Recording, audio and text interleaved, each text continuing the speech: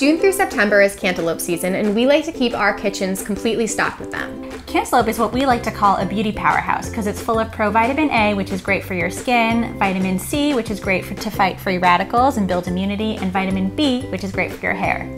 So today we're going to show you a quick and easy way to incorporate cantaloupe into your daily breakfast. So let's get started.